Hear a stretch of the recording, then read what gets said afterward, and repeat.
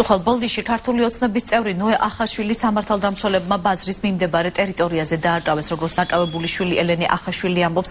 მანქანიდან გადმოსულმა პოლიციის თანამშრომლებმა ნოე ახაშვილი ძალის გამოყენებით ყველანაირი ახსნა განმარტების გარეშე ჩასვეს ავტომობილში და წაიყვანეს. მიშუსტი ტელეფონი წაართვეს. შემდეგ სამართალდამცველებმა ტაქსის მძღოლებს მისცეს. მითითება რომ ელენე ახაშვილი ტერიტორიიდან არ დაეყვანათ. კოალიციის წევრებს პოლიციაში ნოე ახაშვილის დაკავების მიზეზი არ განუმარტეს. ადვოკატმა კობა კობახიძემ დაკავებულთან დასაუბრება მხოლოდ მას შემდეგ შეძლო, როდესაც ის ბოლნისის პოლიციიდან მარნეულის რაიონულ სამმართველოში გადაიყვანეს.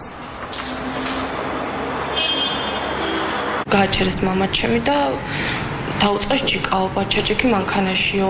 მამაჩემ აკითხა რატოო რის გულისთვისო ანუ არ არაფერი არ უთხრეს ჩაჭიკიო და ჩააგდეს მანქანაში. მე გამომეკიდა ორი პოლიციელი ერთი მიტრიალ და მეორე უკან მანქანისკენ დაბრუნდა, მეორე მეჭიკავებოდა და ჩამომართვა ტელეფონი.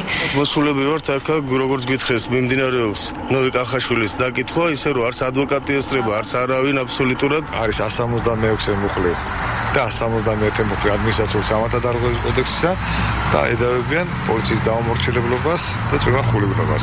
ამ დროს კაცი გაუგნებულია. უბრალოდ არის ეს მობილური ჯგუფის ხელმძღვანელი პოლიციის რაიონში, ჩვენი კოალიციის და იმდენად აქტივისტია, რომ უნდა რაღაცნაირად უგულებელყონ, როგორც თვითონ ამას ამბობს, რომ გაანეიტერონ მისი მოქმედებები, აქტიური მოქმედებები.